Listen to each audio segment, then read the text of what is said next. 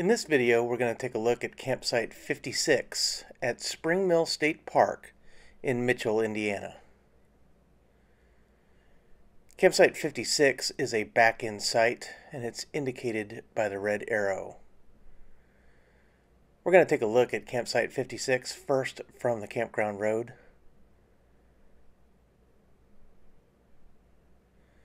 And as you can see, this site is nice and level. It's gravel, it's quite deep.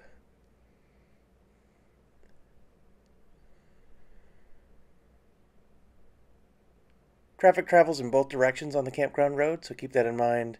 Make sure your kids look uh, both ways before crossing the street. This site is equipped with a fire pit with grow grate and a picnic table. It has water hookup, which is behind that tree, and there's the electric hookup. But there's no sewer hookup in the campground. There's the water hookup.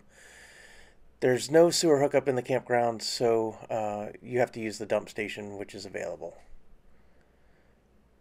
Here's a look at Site 56. The main restroom facility for Site 56 is indicated by the red arrow. It's a full-service restroom facility, so it has running water, hot showers, and flush toilets. I hope that walkthrough was helpful to you. Be sure to check out the playlist in the description below where you can check out all the other campsites from this campground. Guys, I'm Kevin with Kemp Outside, your inside source for all things outside. We exist to help moms and dads take their kids camping, hiking, fishing, learn about nature, and develop a conservation ethic. We want to help you get you and your kids outside.